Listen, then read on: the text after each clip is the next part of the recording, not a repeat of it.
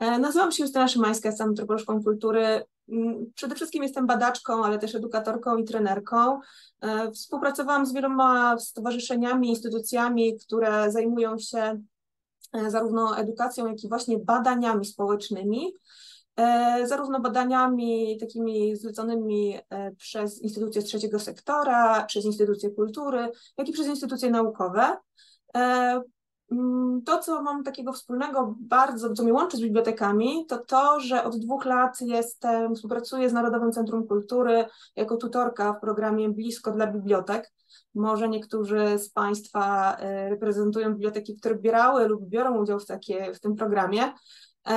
Jest to bardzo fajny program dla bibliotek, który również zakłada w swoim e, programie, znaczy w tym programie jest założone stworzenie diagnozy lokalnej. No właśnie, ja taką diagnozę lokalną tworzyłam, współtworzyłam z zespołami z bibliotek, domów kultury i innych instytucji kultury e, w ramach, e, w ramach różnych programów, między innymi dla domów kultury działam też w programie Dom Kultury Plus. Mm, przede wszystkim jestem też członkinią Stowarzyszenia Pracownia Etnograficzna, jak powiedziała Ola, e, i od 10 lat jestem związana z trzecim sektorem. E, to może tyle takiego wprowadzenia o mnie.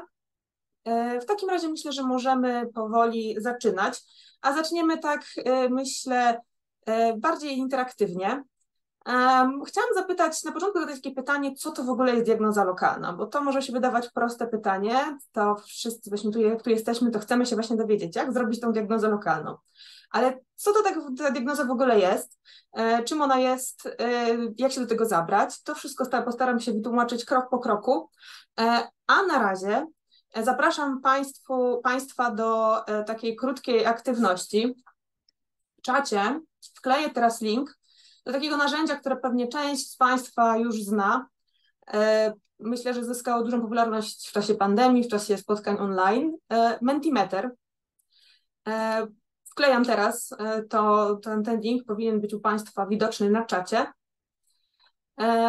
Bardzo zapraszam serdecznie do wejścia w ten link i odpowiedzenia na krótkie pytanie związane właśnie z diagnozą lokalną.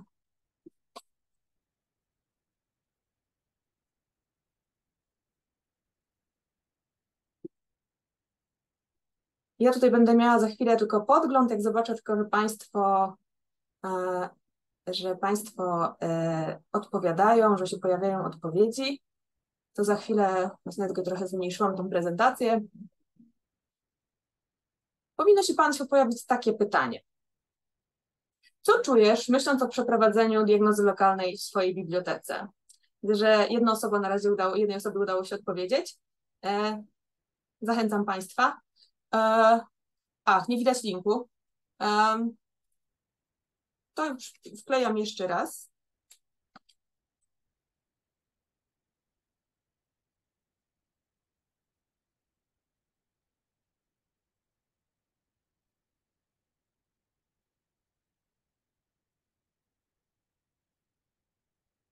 O właśnie, tutaj jeszcze, jeszcze Ola z Fundacji jeszcze wkleiła jego jeszcze raz. Właśnie teraz dwa razy więc mam nadzieję, że, że teraz widać. Powinna to być ostatnia wiadomość. O, widzę, że widzę, że już Państwo e, odpowiadają. Już sześć osób. To ja na, na, na razie to e, zwinę, żeby nie, nie, nie było spoilerów. Zobaczymy, jak Państwo, e, jak która odpowiedź będzie cieszyła się największą popularnością. Co to w ogóle co, jakie uczucia w Państwa wywołuje myśl o zrobieniu diagnozy lokalnej w swojej społeczności z ramieniem biblioteki, którą Państwo reprezentują? Jak Państwo tak pomyślą sobie, hmm, mamy zrobić diagnozę lokalną, jakie jest wtedy pierwsze uczucie, które Państwu towarzyszy?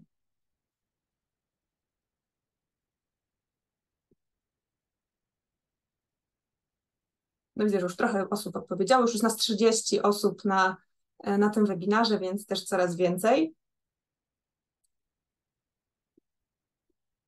No dobrze, to zobaczmy. Widzę, że na razie odpowiedziało 19 osób, czyli większość z Państwa, których jest obecnymi.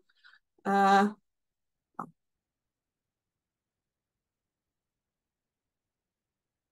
Ja tylko udostępnię. Jak Państwo widzą, Teraz powinni Państwo widzieć udostępniony przeze mnie ekran. Zdecydowana większość z Państwa czuje niepewność. 13 osób odpowiedziało, że niepewność, dwie osoby, że nerwowość, ale co mnie bardzo cieszy, dwie osoby czują na, ten, na tą myśl ekscytację, dwie osoby radość, jedna osoba spokój. Bardzo, bardzo mnie to cieszy. E, I niepewność e, również mnie cieszy, bo jeśli jest coś niepewne, to znaczy, że najczęściej jest też ciekawość do poznania tego, więc mam nadzieję, że dzisiaj, dzisiaj sobie z tą e, niepewnością trochę poradzimy i trochę ją rozbroimy. Więc tak, dobrze, to w takim razie to mamy ze sobą, to pozwolę sobie wrócić wrócić sobie do prezentacji.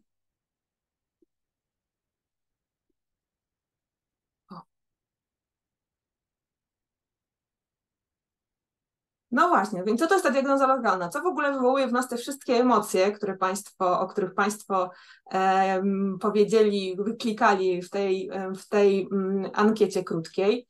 Co to jest diagnoza lokalna? Diagnoza lokalna to tak trochę chciałabym to ugryźć na początku od trochę innej strony, od takiej mniej może stricte definicyjnej, mm, ale takiej, co to tak naprawdę jest, jaka jest idea stojąca za diagnozą lokalną. E, to jest oczywiście rozpoznawanie potrzeb i potencjału kulturowego naszej społeczności. Jeśli mówimy oczywiście o, cały czas e, mówiąc diagnoza, na potrzeby tego webinaru będę miała na myśli diagnozę E, lokalną dla bibliotek, tak? Taką już konkretnie, bo ponieważ diagnoza może być oczywiście przeprowadzana przez różne instytucje, ale tutaj będziemy mówić o takiej diagnozie, diagnozie skierowanej do w strefie, obejmującej strefę kultury, czytelnictwa też i biblioteki właśnie. Czyli to jest rozpoznawanie potrzeb i potencjału. Ale diagnoza to także sztuka zadawania sobie pytań o to, ile tak naprawdę wiemy o otaczającej nas rzeczywistości i udzielanie na te pytania uczciwych odpowiedzi. E, to jest ważne w diagnozie, żeby wyjść, żeby naprawdę wejść w rolę badacza i wyjść poza takie swoje utarte przekonania, które często mogą być prawdziwe, ale mogą być też nieprawdziwe, mogą być trochę skrzywione przez rutynę, przez to, że y, dawno już nie sprawdzaliśmy, jak jest, bo kiedyś się okazało, że tak jest i do tej pory tak myślimy, nie sprawdzając.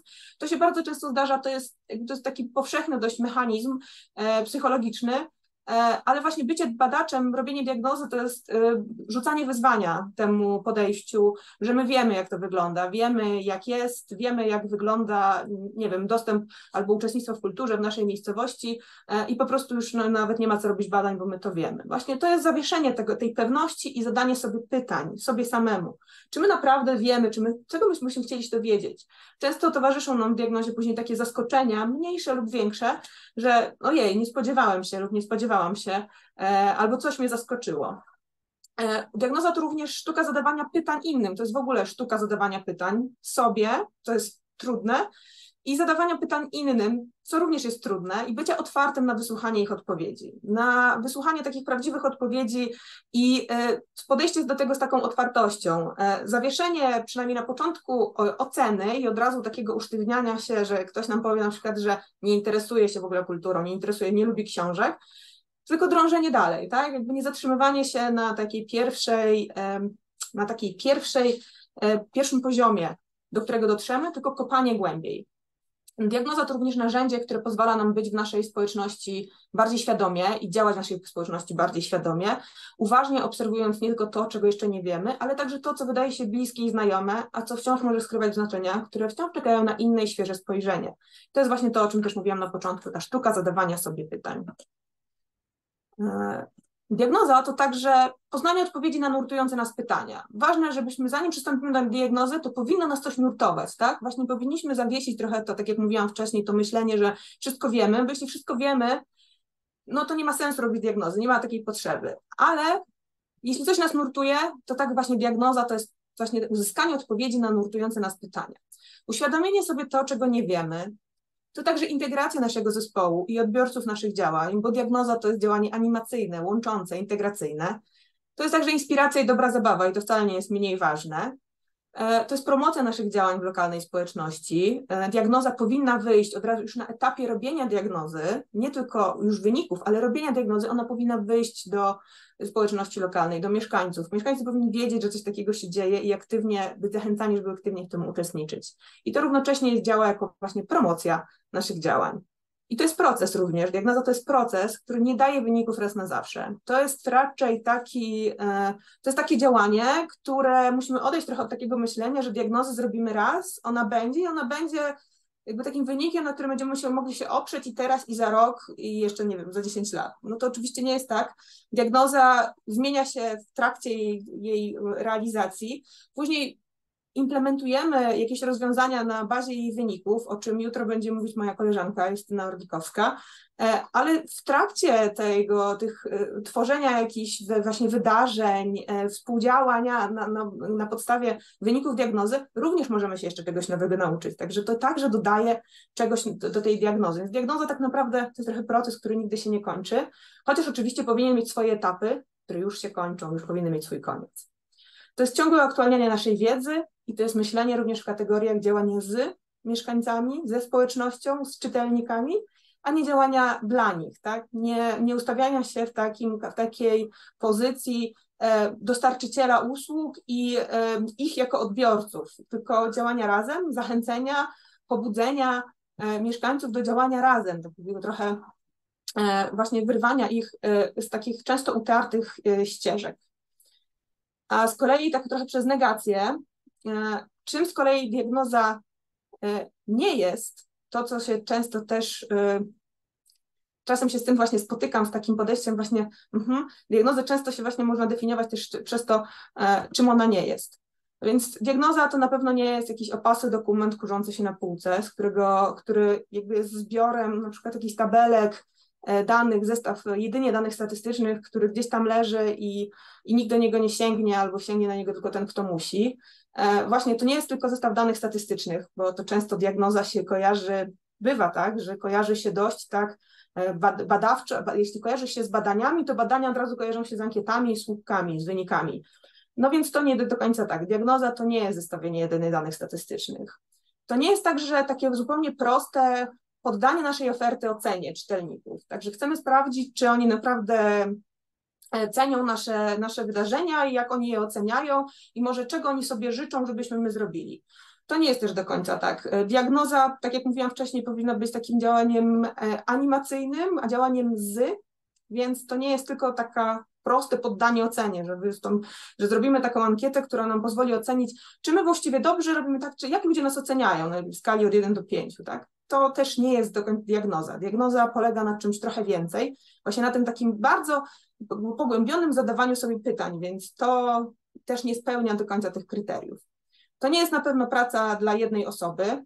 Powinien tu być na różnych etapach za, więcej osób, które tą diagnozę tworzą, współtworzą, E, I to nie jest praca tylko z zabiórka.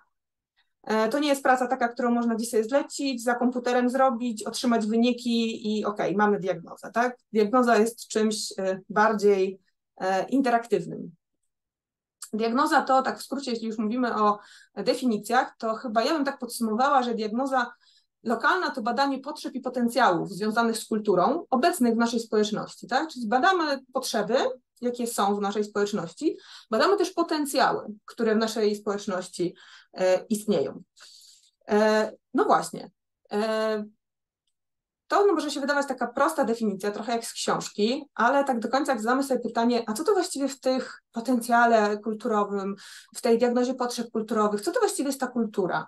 To też jest pierwsze pytanie, które warto sobie zadać, bo jeśli działamy w kulturze i robimy badania dotyczące jakiegoś tam sektora kultury, no to warto sobie zadać pytanie, czym ta kultura jest? Czym ta kultura jest dla nas, tak? Bo trochę co innego jest definicja taka stricte słownikowa, czy też taka, w której musimy, musimy się poruszać na przykład na potrzeby różnych sprawozdań, grantów, wniosków, a co innego to, jak my też to rozumiemy. E, I mam nadzieję, że widzę też taki trend, że coraz bardziej przebija się taki właśnie bardzo inkluzywny e, model i rozumienie kultury, które już się pojawia w takich opracowaniach właśnie bardziej naukowych wręcz, e, że kultura to jest coś, co robi się razem, kiedy spotyka się innych ludzi. To jest bardzo szeroka definicja socjologa Tomasza Szlendaka. E, kultura to jest spektrum aktywności podejmowanych spontanicznie i oddolnie przez mieszkańców, tak? Czyli tu jest położony nacisk na te więzi, na to, co tworzy się, kiedy ludzie się spotykają i robią coś razem. E, nie zawężamy tutaj tego myślenia o kulturze do tylko kultury wysokiej albo tylko i wyłącznie do czytelnictwa, tak wąsko rozumianego, e, tylko właśnie do robienia czegoś razem, do tworzenia takiej wspólnej energii, która pozwala później wyjść ze swoimi pomysłami, pozwala tak bardziej świadomie i aktywnie uczestniczyć w kulturze. E, A jeśli chodzi właśnie o instytucje kultury, to instytucje kultury, tutaj jak zostało to też powiedziane w takim raporcie Wieś w Polsce, diagnoza i prognoza z 2017 roku, ale wciąż aktualne, Publiczne instytucje kultury nie tylko dają poczucie przynależności do tej samej cywilizacji, ale udostępniają swoje zasoby infrastrukturę lokalnym inicjatywom nieformalnym, tworzą kościec, na którym wspiera się tkanka lokalnej samoorganizacji. Tak więc jakby instytucje kultury też mają w sobie taką dużą moc, duży potencjał same w sobie. Więc bardzo zachęcam do takiego właśnie szerokiego rozumienia kultury, nie zatrzymywania się tylko na uczestnictwie w kulturze, jako na uczestnictwie w wydarzeniach związanych ze sztuką, ale też właśnie w takich wydarzeniach, w których robimy coś razem, w których coś razem się dzieje, robi się jakaś energia, ale właśnie też jeśli chodzi o bibliotekę, to żeby gdzieś tam wpleść też tą książkę, bo przecież biblioteki są też e, jedyną instytucją bardzo często, która tą książkę ma faktycznie, ma taki produkt jak książka, wokół której może zbudować wiele fantastycznych inicjatyw. E, więc co jest ważne w myśleniu o kulturze, tak jak ja to widzę i tak jak myślę, że warto to widzieć w diagnozie lokalnej, to jest szerokie rozumienie pojęć. Szerokie rozumienie pojęć właśnie tego, czym, czym jest kultura, czym jest uczestnictwo, bycia otwartym, bycia otwartym na to, co nam przynoszą, przyniosą te badania. Uwzględnianie, uwzględnianie oddolnej perspektywy, czyli właśnie też patrzenia na to, co ludzie i na mieszkańcy, nasi czytelnicy jak oni rozumieją kulturę, e, jak oni to widzą, w jaki sposób oni uczestniczą e, i jakby bycie otwartym na to, że to może być trochę inne rozumienie niż takie książkowe czy słownikowe. E, to jest docenienie codzienności, nie zatrzymywanie się tylko na takich wyjątkowych wydarzeniach, takich pojedynczych eventach, ale też takie codzienność. Nasza codzienność też jest przepełniona kulturą i może być bardzo taka kulturotwórcza, więc często myślenie takim właśnie w kategoriach wysokich, bardzo wysokiej kultury trochę nam zawęża to spojrzenie. Więc zachęcam do doceniania codzienności tego, co się dzieje na co dzień u nas, w naszej instytucji, ale też w naszym mieście czy w naszej gminie. E, wrażliwość na różnorodność i grupy marginalizowane. To jest też ważne w myśleniu o kulturze, żeby kultura nie była taka generyczna, czyli taka trochę dla wszystkich, jak już dla wszystkich, to dla nikogo. E, I ta różnorodność jest ważna. Społeczności są różnorodne pod różnymi względami. E, są różne grupy, które są marginalizowane i kultura jest właśnie takim narzędziem, które może do tych grup dotrzeć i które może do tych grup być naprawdę ważne. E, dostrzeganie nieoczywistości, to wszystko to, to coś mówiłam na, to, to, to, co mówiłam na początku, że nieoczywistość i takie niezatrzymywanie się na najprostszych definicjach jest bardzo ważne. No i właśnie refleksyjność, tak? czyli zadawanie sobie też pytań i ciągłe stawianie takiego znaku zapytania na końcu, czy na pewno już wszystko wiemy.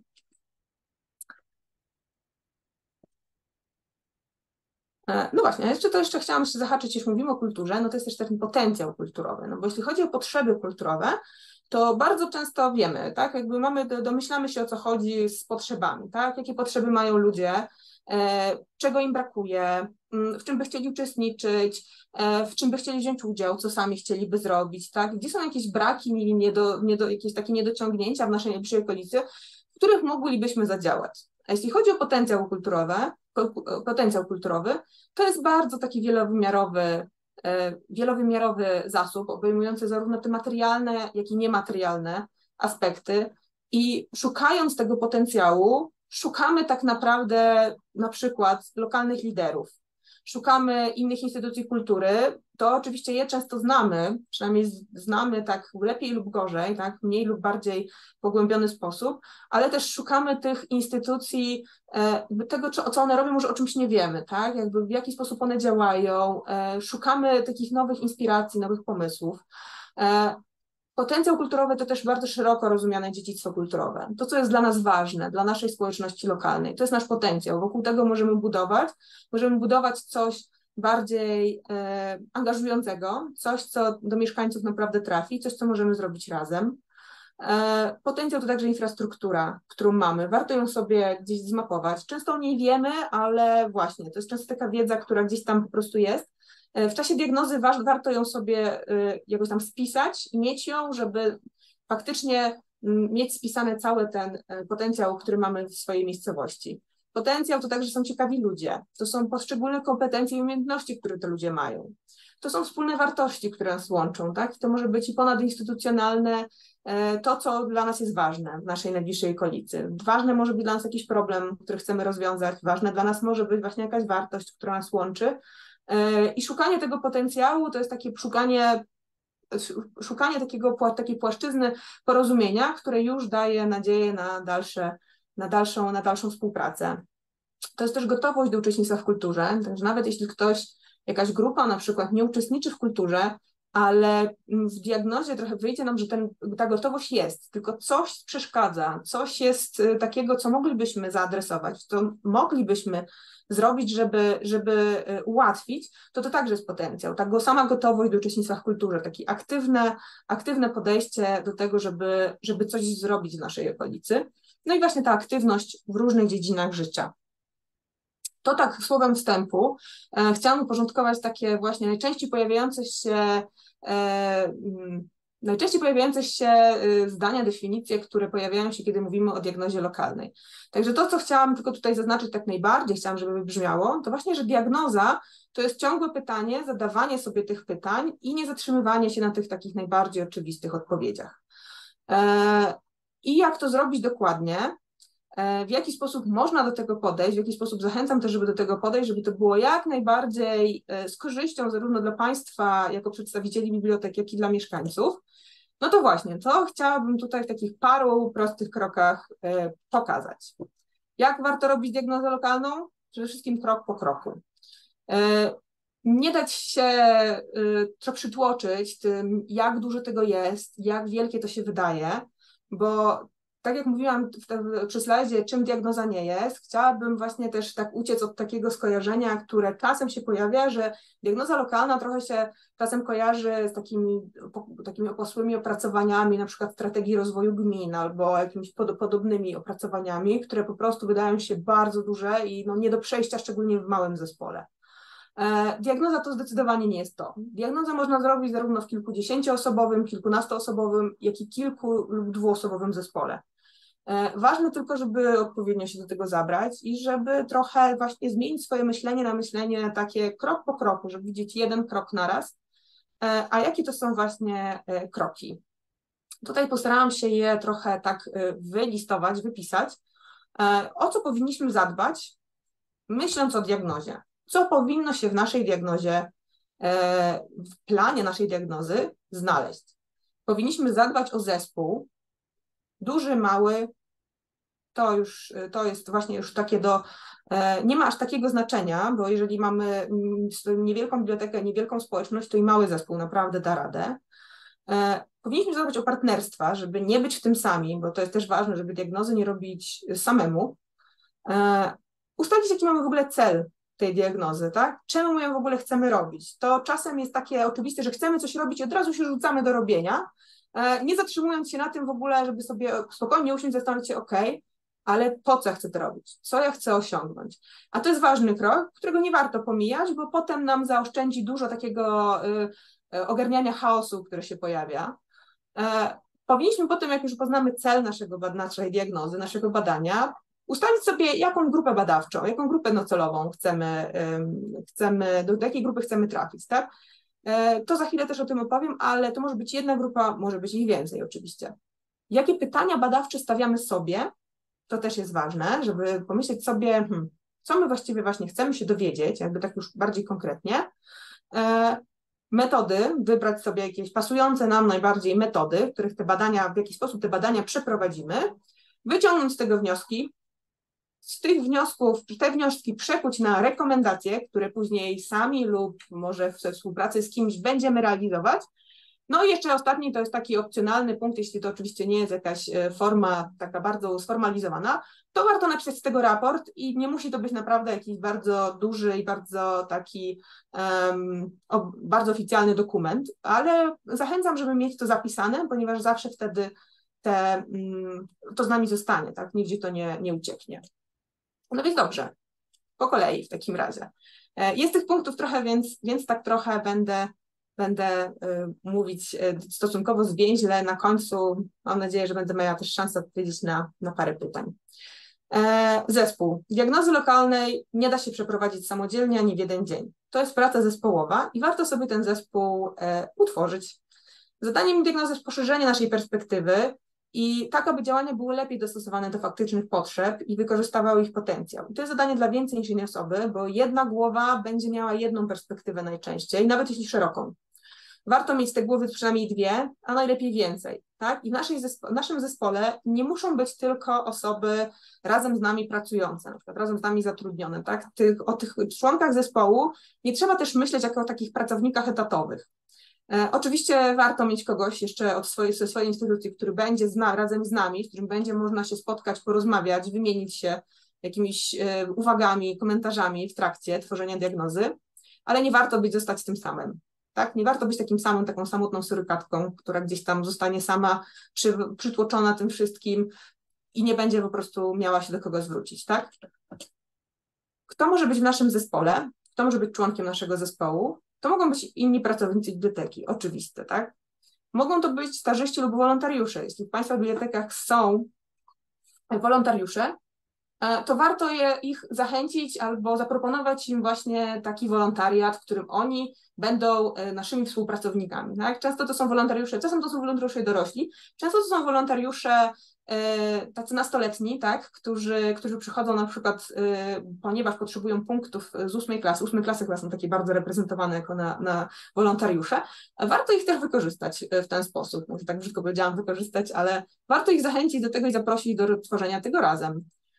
Pracownicy zaprzyjaźnionych instytucji, to też nie musi być tak, że, że ta osoba z innej instytucji jest od razu odpowiedzialna za jakiś bardzo duży kawałek, ale warto z nimi porozmawiać i zapytać, czy mogliby nam pomóc w jakimś jednym, dwóch narzędziach w dotarciu do jakiejś grupy. To też będzie pomoc i to też jest część, y, jeśli ta osoba się zgodzi, to to też jest częścią naszego zespołu, więc warto jakby mieć te, te kontakty.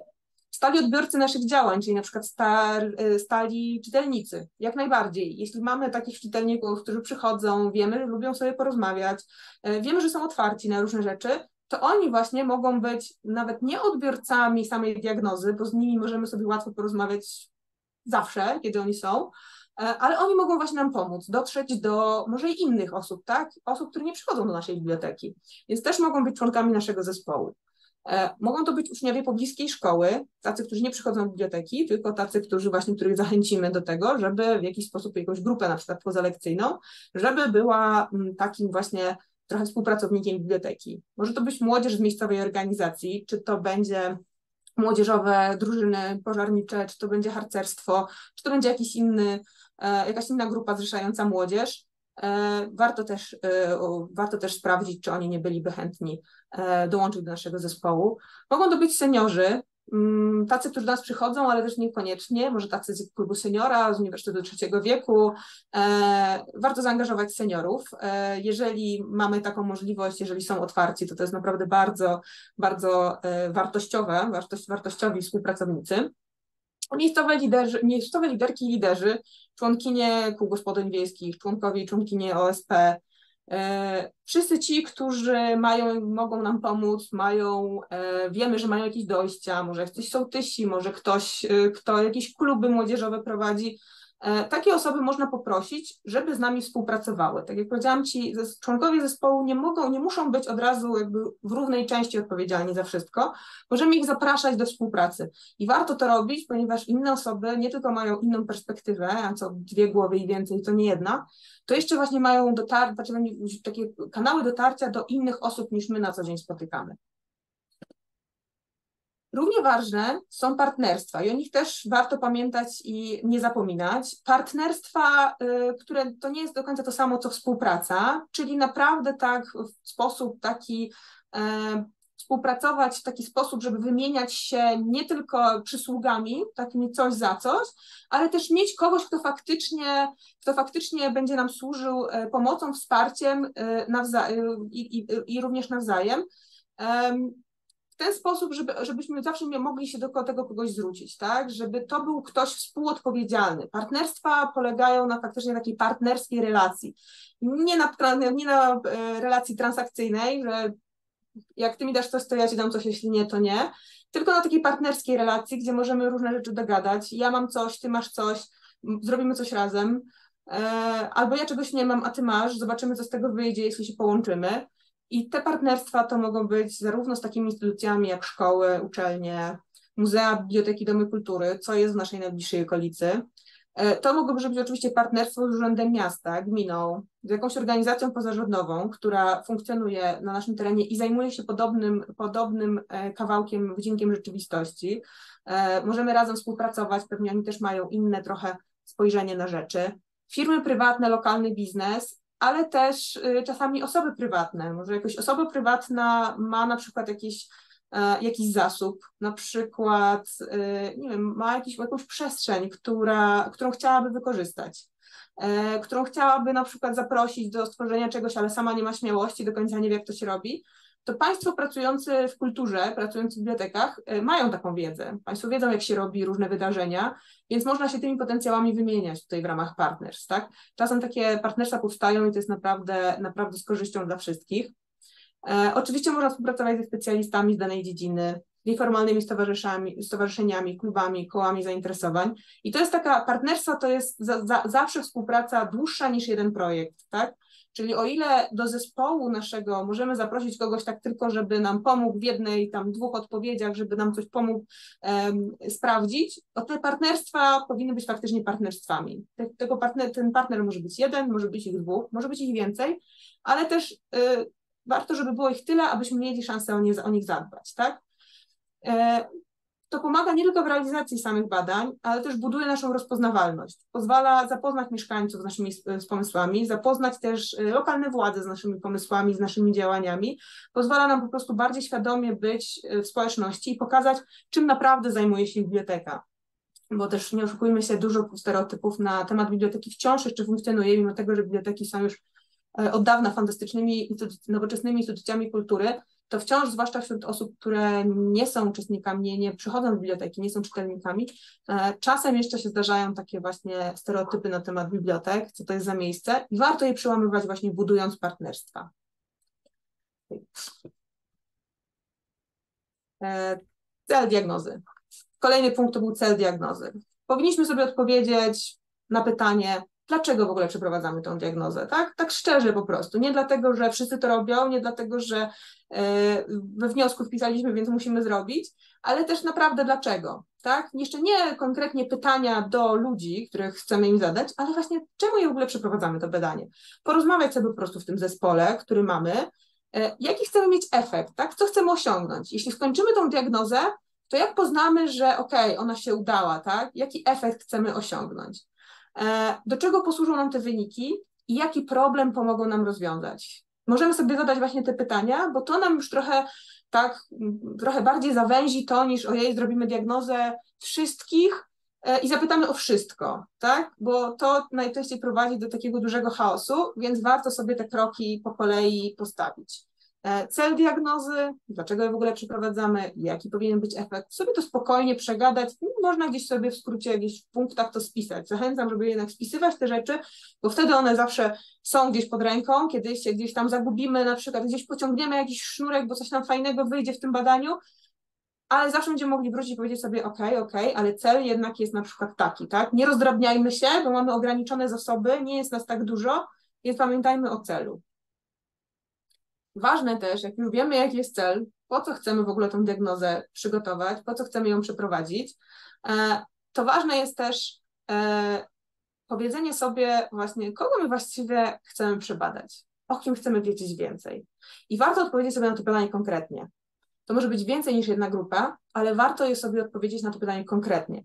Bo zadając pytanie, kogo w takim razie, kogo chcemy, kogo chcemy przebadać w tej diagnozie, o kim się chcemy więcej, czegoś więcej dowiedzieć, gdy pada odpowiedź, no wszystkich, to wtedy naprawdę trochę nie wiadomo jak zacząć, prawda? No bo wszystkich to tak trochę, no nie ma takiego złotego narzędzia, które trafi do wszystkich, tak? I takiego y, idealnego po prostu y, jakiegoś, jakiegoś działania, który będzie doskonały dla wszystkich. Czas takiego nie istnieje, więc warto sobie powiedzieć, kogo chcemy przebadać przynajmniej na początku, bo później oczywiście możemy wziąć jakąś inną grupę sobie, tak? Po kolei możemy to zrobić. Możemy najpierw wziąć dwie, jedną, dwie, Potem, jak już zrobimy swoją pierwszą diagnozę na przykład, to sobie to później sobie, ok, jeszcze chcieliśmy na przykład seniorów, ale teraz skupimy się na takiej młodzieży, młodzieży starszej, tak? Bo na przykład tak do 13 roku życia to jeszcze do nas przychodzą, wiemy o nich coś, no ale już tak powyżej 13 roku życia to już tak nie bardzo. To w takim razie, ok, skupiamy się na takiej młodzieży, która jeszcze chodzi do szkoły, do y, ostatnich na przykład klasy podstawówki i do liceów, albo tylko do, do, szkoł, do szkół średnich, tak? Możemy się skupić też na przykład na, ok, rodzice małych dzieci, jakby gdzieś tam nie ma u nas tych dorosłych, ale wiemy, że y, są osoby w takiej sytuacji, że mają małe dzieci, e, no i one gdzieś tam są, widzimy je, ale one nie przychodzą do nas. To może zobaczymy sobie, zobaczymy, co im by najbardziej pomogło, w czym my moglibyśmy im pomóc i co moglibyśmy z nimi razem zrobić, żeby im ułatwić to e, uczestnictwo w kulturze i bycie w kulturze, bo to, że kogoś nie ma, to nie zawsze znaczy, że ten ktoś nie chce, tak? Po prostu czasem może, mogą być jakieś, tak jak wcześniej już powiedziałam, jakieś po prostu przyczyny tego, że to nie jest takie proste. Te różne grupy marginalizowane, one naprawdę mogą być bardzo różne.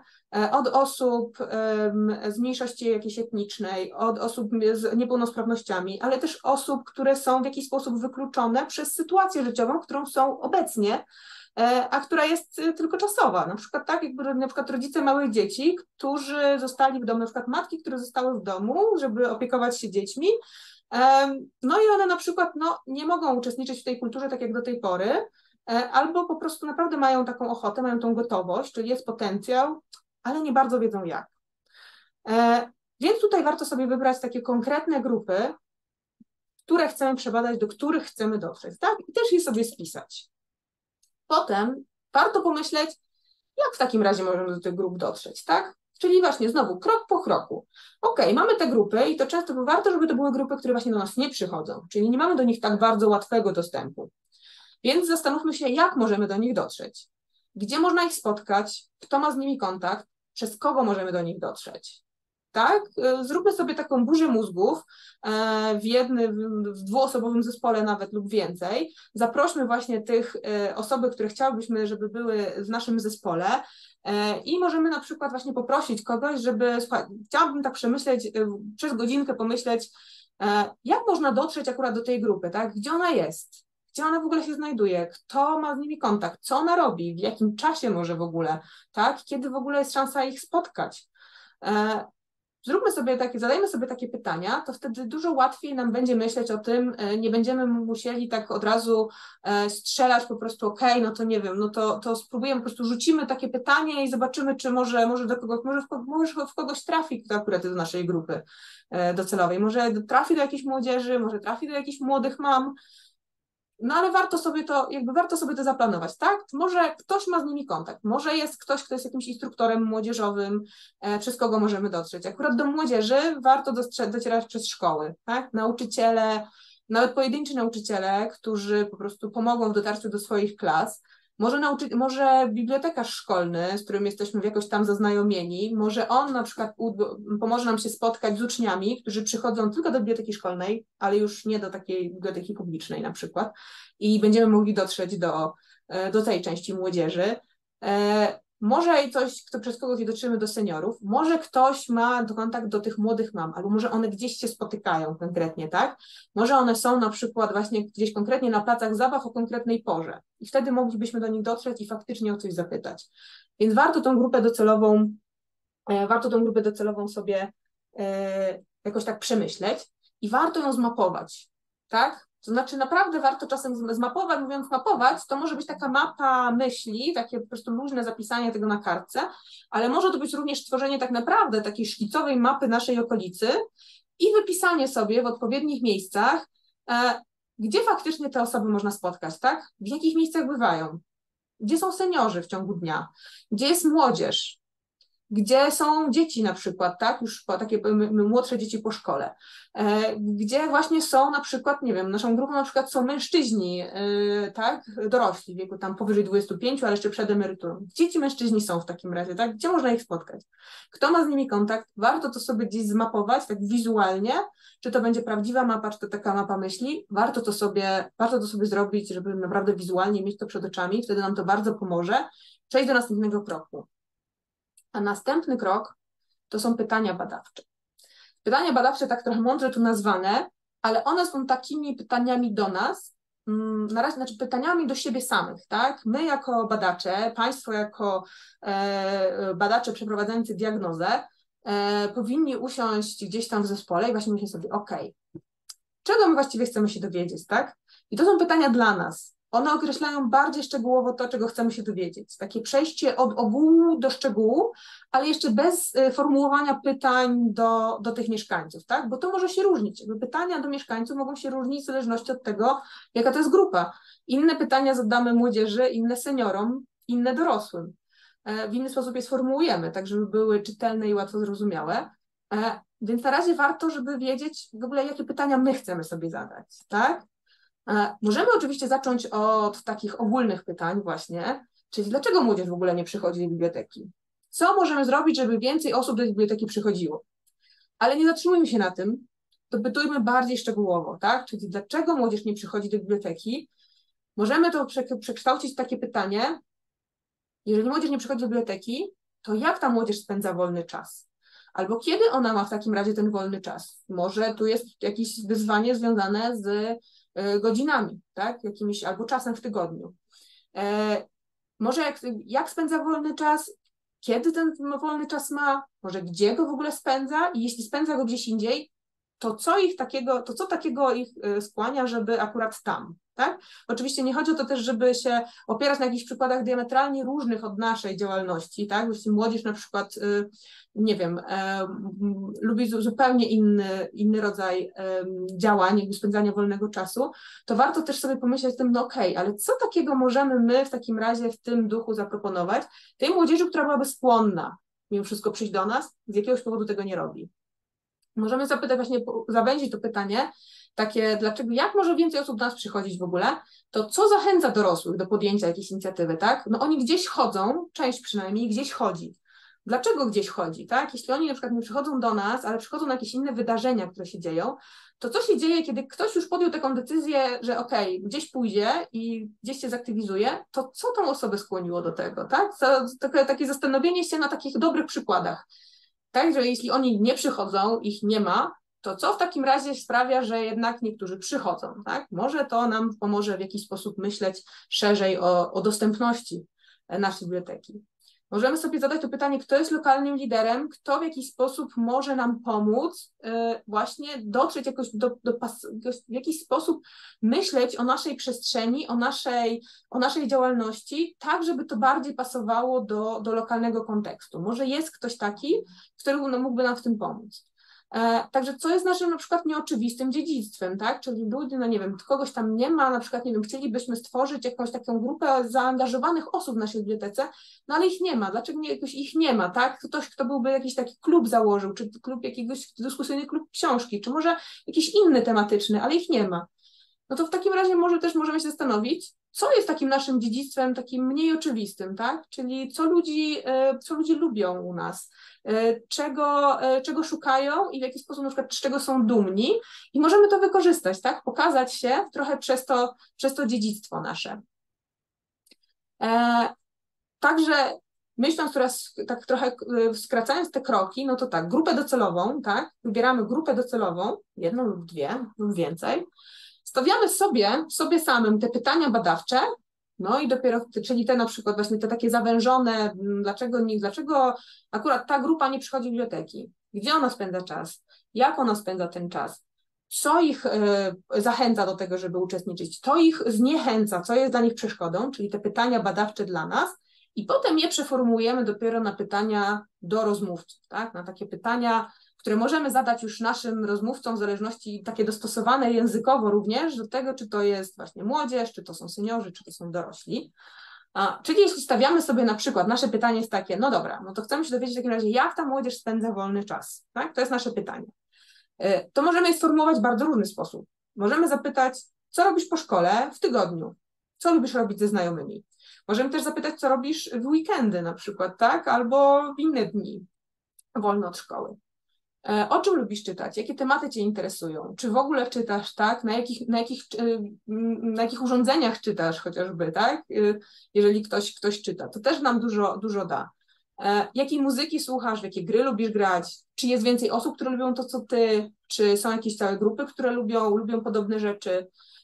Na co najbardziej czekasz? Co jest dla Ciebie taką ulubioną aktywnością, ulubioną rzeczą? Na przykład, no to czekasz tydzień albo miesiąc i się wydarza tylko raz na jakiś czas jak utrzymujesz kontakt ze znajomymi? To też jest ważne, prawda? No bo jak młodzież spędza wolny czas, ona jest w kontakcie ze sobą, ale może my nie zawsze wiemy, w jakim dokładnie jest kontakcie i w jaki sposób do nich dotrzeć.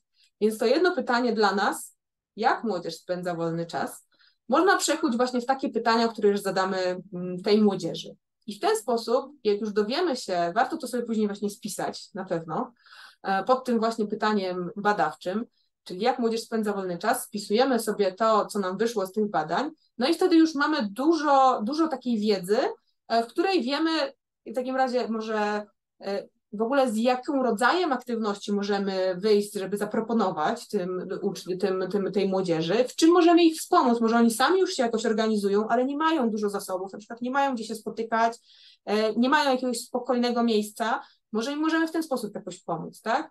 E, może będziemy wiedzieć wtedy więcej o tym, kiedy oni mają w ogóle jakiś czas w tygodniu albo w weekendy na przykład, tak? Czy czy na przykład y, jest tutaj coś, co możemy my mm, im pomóc ich, albo się trochę do nich dostosować? Albo też, czy na przykład, czy jest coś takiego, czego oni unikają, tak? Że na przykład gdzieś nie chodzą, no bo na przykład gdzieś to jest, coś, coś jest dla małych dzieci, a oni są już młodzieżą, nie chcą być z tymi małymi dziećmi, to możemy sobie pomyśleć o tym, że może na przykład my w tej naszej bibliotece możemy zrobić coś w tym kierunku, żeby ta młodzież bardziej poczuła się u nas, y, u siebie, a nie taka właśnie E, że e, wrzucona do jednego worka z dziećmi, tak? E, to są takie przykłady, które trochę bazują właśnie na swoim własnym doświadczeniu tego, co mi w różnych badaniach wyszło i za każdym razem to jest naprawdę, może być zaskakujące te odpowiedzi, mimo że często nam się wydaje, że to jest oczywiste, często pewnie moglibyśmy, pomyślimy sobie, że moglibyśmy jednym zdaniem skwitować, jak młodzież spędza wolny czas. No gdzieś tam siedzi, tak, jest takie miejsce w naszej miejscowości, ta młodzież sobie siedzi i tam spędza. No ale to nie, czy to jest cała młodzież, tak? To też jest ważne pytanie. Czy to jest cała młodzież? Czy na pewno wszyscy? Czy nie ma osób w wieku właśnie takim młodzieżowym, które jednak chcą spędzać czas inaczej? E, no i właśnie to jest takie to kopanie głębiej, zadawanie sobie więcej pytań, e, nie zatrzymywanie się na tych takich oczywistościach, które wydaje nam się, że wiemy. Tak? I to jest taki drugi przykład jeszcze właśnie takiego, jak można rozwinąć, jak można przekuć pytanie nasze, to pytanie nasze badawcze, co jest naszym nieoczywistym dziedzictwem, na pytania do mieszkańców, tak? E, gdzie lubi Pani spędzać czas, gdzie sama, gdzie z przyjaciółmi, co się Pani podoba u nas, co Pani pokazała Pan, Pani turystom w naszej miejscowości, tak? Odkryć, odkryć trochę takie e, bardziej geograficzne tereny, w których możemy naprawdę, które, do których ludzie mają jakiś emocjonalny stosunek i pomyśleć, w jaki sposób możemy to wykorzystać w naszych działaniach. No dobrze, no więc taką część teoretyczną, taką część przygotowawczą mamy za sobą, tak? Zrobiliśmy to wszystko krok po kroku, no to w takim razie do dzieła. Jak to zrobić w ogóle?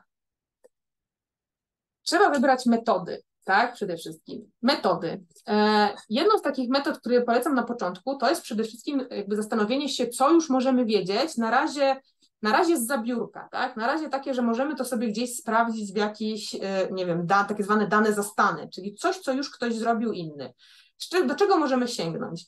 E, I jeśli Państwo, e, jeszcze, jeśli Państwo tam jesteście jeszcze po drugiej stronie, no to w takim razie chciałabym poprosić, czy na czacie mogli Państwo by wrzucić parę przykładów tego, co może być takimi danymi zastanymi, tak? Co może nam pomóc na samym początku zrobienia takiego wstępnego rozpoznania, ok, wybraliśmy sobie tą pytania badawcze, grupę docelową, stworzyliśmy pytania do tych naszych rozmówców, no dobra, no to teraz y, chcemy jeszcze tak poszerzyć swoją wiedzę w tym temacie, na razie jeszcze nie wychodząc do końca, tak, bezpośrednio do ludzi.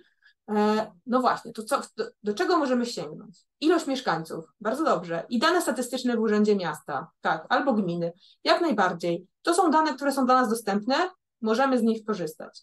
Raporty o stanie czytelnictwa, jak najbardziej. Czyli dane statystyczne w GUS-ie też są takie ogólnopolskie, do których możemy sięgnąć. One często tam, jak się tam dokopie, to są podzielone też na, na poszczególne powiaty i gminy nawet, e, ale też urzędy miasta lub gmin, MOPSy, GOPSy, urzędy pracy, one też mają czasem takie dostępne w ogóle na stronie jakieś badania, raporty, które tworzą, które nam pokażą trochę większą taką, tak, pozwolą nam trochę rozeznać się w sytuacji. I różne raporty, tak jak tutaj właśnie pani Barbara napisała, raporty o stanie czytelnictwa, ale też inne, na przykład, tak, raporty jakichś think tanków, innych instytucji, na przykład Biblioteki Narodowej, na przykład CEO, tak, Centrum Edukacji Obywatelskiej też wypuszcza raporty, y, czy o młodzieży, czy o korzystaniu z kultury, bardzo różne, więc też zachęcam. Dane z kartotek bibliotecznych. Pani Aleksandra, tak jest. To, co mamy u siebie, tak? Mamy u siebie te e, kartoteki biblioteczne, więc możemy sprawdzić, ile w ogóle mamy tych czytelników, tak? Jakby I tak robimy takie zestawienia, to w takim razie na przykład jaka część jest w nich aktywna, e, kto to głównie jest, tak? Nie opierać się tylko na naszych takich przeczuciach i takiego co, co, czegoś, co na co dzień widzimy, tylko jeszcze to właśnie podeprzeć danymi. Można śledzić lokalne fora i poruszane tam tematy. Tak jest. I liderzy. Jak najbardziej. Dokładnie. Eee, tu jeszcze mam takie książki tematyczne, czasopisma, publikacje naukowe, jeśli byśmy byli bardziej zainteresowani takimi na przykład socjologicznymi aspektami, czy nawet psychologicznymi młodzieży, też można do nich sięgnąć. E, można sięgać też do tekstów kultury, do literatury, fotografii, muzyku, muzyki, filmów, architektury, naprawdę do różnych rzeczy, które nam powiedzą o tej grupie docelowej, najlepiej lokalnie, coś więcej, tak? Jakby co oni lubią z naszych kartotek możemy wyciągnąć trochę, tak? Tego właśnie, co, co oni lubią, w co oni się angażują, żeby już mieć taką początkową wiedzę. No i właśnie jak tutaj pani Magdalena powiedziała, te lokalne fora, a szerzej bym powiedziała właśnie media społecznościowe, tak? No teraz to jest y, bardzo duży zasób wiedzy, mm, bardzo dużo y, osób jest w mediach społecznościowych, właściwie prawie wszyscy, przy czym starsi są raczej na Facebooku, a z tego, co ostatnio jakieś takie trendy się pokazują, to młodsi już to raczej na tym Facebooku nie są. Bardzo dużo młodych ludzi już nie ma w ogóle konta na Facebooku, bo na Facebooku są rodzice i dziadkowie często. E, za to mają na przykład właśnie na Instagramie, na, TikTok, na TikToku, na Discordzie czy na Snapchacie E, I to są różne takie narzędzia, których już my możemy do końca nie znać, jeżeli już nie jesteśmy w tej grupie akurat wiekowej. E, więc warto też sobie sprawdzić, na przykład właśnie wstępnie hmm, rozpoznać, na przykład jakie to media społecznościowe mogą być, zobaczyć, co to w ogóle tam jest, tak? Mm, ale też właśnie jeśli chodzi o fora i poruszone tam tematy, e, to też warto zerknąć do takich na przykład forów, E, do takich e, też materiałów internetowych, takich e, już na przykład konkretnie związanych z czytelnictwem. No, na przykład chyba znany na pewno większości z, państwu, z Państwa portal Wattpad, który jest kuźnią jakby nowych autorów i książek, który jest takim portalem, gdzie można wpisać i wrzucać swoje własne, swoją własną twórczość. Inni mogą to czytać za darmo zupełnie. Mm, no i tam można sobie tak właśnie wyszukać na przykład po tagach dla nastolatków, tak? E, co nastolatkowie i zobaczyć, co jest najbardziej popularne, co nastolatkowie czytają. Na pewno Państwo kojarzą ze swoich bibliotek e, książkę przez jednych kochaną, przez drugich znienawidzoną Rodzina Monet, e, często znienawidzoną przez starszych i rodziców, a ukochaną przez nastolatki. E, I ta książka właśnie powstała na początku na Wattpadzie. To była taka pisana na bieżąco, taka opowieść w odcinkach, która była publikowana na Wattpadzie, e, a potem została wydana, ponieważ była tak popularna, to została wydana w formie książki. E, I to też nam trochę jakby rozpoznanie takich źródeł pomoże nam trochę, pomoże nam trochę jakby rozeznać się w ogóle, co teraz, co teraz na przykład ta młodzież, tu w tym wypadku młodzież, ale inne możemy poszukiwać innych źródeł dostosowanych do innych grup odbiorców, co oni w ogóle, czym oni żyją, tak? Jakie tematy są teraz dla nich aktualne. E, no dobrze, to były takie dane zastane, tak zwane, jak, jak, to, jak to napisałam, dane zastane, czyli coś, co możemy zrobić od razu, tak?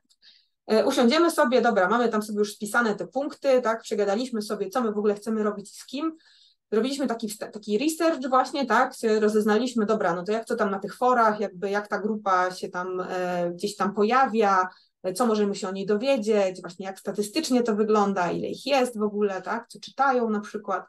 No dobra, no ale to teraz czas zdecydować, jakich narzędzi użyjemy, żeby się w ogóle do nich, e, żeby do nich dotrzeć, tak? Już bezpośrednio my, nie przez zapośredniczone przez jakieś teksty, przez ekrany, tylko my.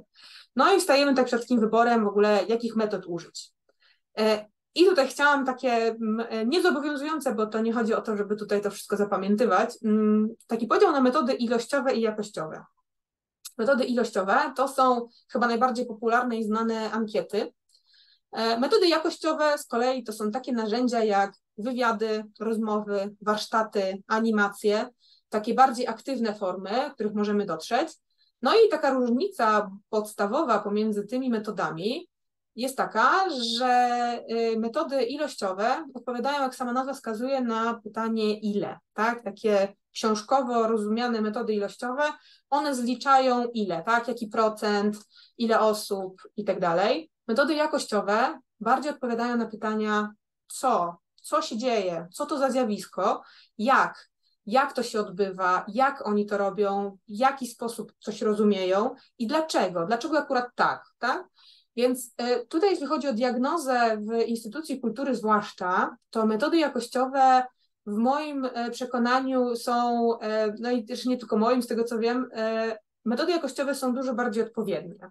Tak? One odpowiadają na te pytania, które my właśnie chcemy zadać, bo my chcemy się dowiedzieć, co ta młodzież robi, co ci dorośli robią, jak można do nich dotrzeć, dlaczego ich nie ma i dlaczego są gdzie indziej, tak? Na przykład co możemy zaproponować, co możemy zrobić wspólnie. Więc są te pytania, metody jakościowe. Mm, ale nie ukrywajmy, że metody ilościowe są dużo bardziej popularne, bo one nam od razu przychodzą na myśl. Tak? Z mojego doświadczenia e, współpracy z bibliotekami, domami kultury, różnymi innymi instytucjami, często się spotykałam z tym, że właśnie pierwsze, co przychodzi na myśl, jeśli chodzi o diagnozę, ok, ankiety, tak? Robimy ankietę. I to nie chodzi mi teraz o to, e, żebym też tutaj trochę nie, nie, nie była zrozumiała, nie chodzi mi do końca o to, E, teraz przyświecę. E, nie chodzi mi do końca o to, że ankieta jest zła, bo ankieta e, jest dobrym narzędziem, żeby się czegoś dowiedzieć, tak? Może nam uzupełnić wiedzę, ale nie powinna być podstawowym narzędziem. Nie ankietą powinniśmy robić diagnozę. Też dlatego się skupię bardziej na ich, jej wadach, tak? Tutaj wymieniłam takie wady ankiet, dlatego, że ona jest właśnie taka popularna i jest pozornie łatwa pozornie łatwa, bo myślimy sobie, że zrobimy to szybko, krótki czas, tak, otrzymamy łatwe do analizy dane, bo najczęściej, jeśli jeszcze to zrobimy internetowo, w jakimś googlowym formularzu, to to nam się od razu z jakiejś słupki yy, stworzy, stworzą nam się słupki i w ogóle już będziemy wiedzieć, prawda? Do tego parę tam pytań takich otwartych i już będziemy mieli. No ale to jest też taka pułapka, yy, pułapka ankiet, bo ankiety wbrew pozorom nie robi się tak łatwo. Ona yy, jakby nie odpowie nam na dużo pytań ona, jeśli ankieta, ankieta taka mm, klasyczna ankieta powinna mieć zdecydowaną większość, jeśli nie wszystkie pytań zamkniętych, czyli takich, które są tylko te pytania do wyboru, tak? Więc jeśli to zrobimy, to wykorzystujemy z góry określone kategorie. Z góry już narzucamy, jakie odpowiedzi mogą te osoby wybrać, e, a to też nie do końca o to chodzi, żebyśmy my już na tym etapie narzucali. Nie pozostawia to miejsca na inicjatywę, pyta o fakty, czyli co, ile i kiedy się dzieje, co, yy, na przykład ile razy byli gdzieś, ile razy uczestniczyli, kiedy i tak dalej, ale nie o przyczyny zjawisk, już nie możemy do końca do tego dotrzeć. I zbiera głównie deklaracje, a nie sprawdza praktyki, tak? Nie, nie daje takiej możliwości, y, żeby trochę pogłębić to, żeby nie zatrzymać się tylko na tym, że ktoś tam coś powie. E, wymaga dobrego dobrania próby i tu jest właśnie takie y, mm, trochę taki, mm, taki haczyk, że nam się wydaje, że te, jeśli zrobimy ankietę, to to będzie bardziej wiarygodne, w sensie bardziej reprezentatywne, tak? Bo ankieta powinna być taka klasyczna ankieta jest reprezentatywna, ale to się opiera na bardzo dobrym doborze próby, który nie jest taki prosty. E, dobór losowy, dobór systemowy, dobór warstwowy, dobór zespołowy to są wszystko nazwy, które mówią o tym, w jaki sposób się dobiera próbę, żeby ona była reprezentatywna dla naszej społeczności, czy na przykład miasta lub gminy, żeby był odpowiedni, żeby nie byśmy nie trafiali tylko do tych, którzy e, tam odpowiedzą na naszą ankietę zamieszczoną na stronie, e, ale żeby dotrzeć też do tych, do których nie dotrzemy tak po prostu przez naszą stronę na Facebooku, stronę internetową, tak? Więc no, jest duża szansa, że jak sobie zostawimy tylko tą ankietę tak, żeby ona sobie tam gdzieś hulała, no to ona dotrze raczej do tych już, już zaangażowanych w jakiś sposób, tak? A nie dotrze do tych, których no nie ma po prostu jeszcze u nas. E, no i w ten sposób y, jakby nie będziemy, nie będziemy wcale reprezentatywni, bo na przykład musimy, musielibyśmy tyle samo procent kobiet i mężczyzn, ile jest proporcjonalnie w naszej miejscowości na przykład, tak? Osoby z takim i takim wykształceniem, żeby były tak odpowiednio reprezentowane. Także to jest trudne, a wydaje nam się, że jeśli będziemy mieli właśnie tą ankietę, to, to, będzie, to będzie łatwiej. No to to jest jakby nie do końca tak, chociaż oczywiście to nam pomoże, to nam doda trochę informacji, na pewno można to zrobić, jakby ankieta mm, nie zaszkodzi, tylko nie może być, e, żeby dobrze przeprowadzić taką diagnozę, zwłaszcza w dziedzinie kultury, to nie powinna być jedyną metodą, tak? Zwłaszcza, że jeśli chcemy na przykład użyć takich pytań otwartych w, ankiecie, bo też czasem jest tak, że no dobrze, ale zadamy pytanie otwarte, prawda? Jakby zapytamy się, e, co takiego byś chciał, co takiego byś chciała, co robisz, no i będziemy mieli, tak, odpowiedzi. No i czasem to się też kończy tak, że do końca później nie mamy też jak tak zebrać tych odpowiedzi, prawda? No bo one nie są ani statystyczne, One się jakoś tak ciężko je zebrać i do końca nie wiemy też o co w nich chodzi, ponieważ te osoby odpowiadały na nasze pytania, często bez naszego udziału. Więc nie wiemy, co mieli, co mieli na myśli od, ankietowani. Kiedy na przykład zapytamy, co robisz w wolnym czasie po szkole i dostajemy odpowiedzi gram. Gram w gry, to jeszcze możemy się domyślić, tak? Ale gram w gry na telefonie czy na komputerze? Gram, gram, to znaczy, no wiecie, grać można na gitarze, grać można w szachy, grać można e, w różne rzeczy, e, grać można właśnie jakieś gry na komputerze albo na telefonie, ale nie wiemy, co to znaczy. Jakby, czy to na pewno do tego samej kategorii podpasować, czy raczej nie. Co to znaczy oglądam lub wychodzę na dwór? Jak wychodzę na dwór, to co? Sam? Razem, jakby z koleżanką, z przyjaciółką, z całą grupą znajomych i później co, gramy sobie w siatkówkę albo w piłkę, czy sobie siedzimy w jakimś naszym ulubionym miejscu, nie mamy szansy o to dopytać. Tak, często możemy też takie losowe mieć odpowiedzi zupełnie, bo ktoś już tam trochę przeczytał pierwszą część, nie zrozumiał, to odpowiedział tak jak, tak jak myślał, więc to jest obarczone też dużym błędem. Więc warto takie pytania otwarte zachować sobie na metody jakościowe, czyli te właśnie takie aktywne, wywiady, rozmowy, warsztaty, animacje, które odpowiedzą nam na te pytania, na które naprawdę nam zależy, czyli właśnie co, jak, dlaczego, tak? One mają trochę mniej ustrukturyzowaną formę, ale pomagają w poznaniu takiego różnorodnego obrazu świata, który nas otacza, nie zamykaniu się na te kategorie e, i zrozumieć, e, co się dzieje i dlaczego się dzieje. I też pozwalają poznać przyczyny i uświadamiają złożoność tego kontekstu, kiedy będziemy mogli dopytać, tak?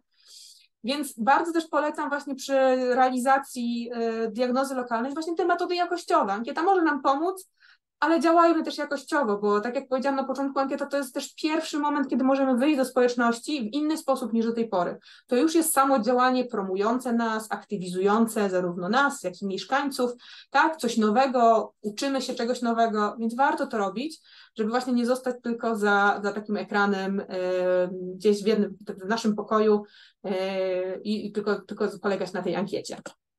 Yy. Już tak mi szybko przeleciało. Dobra.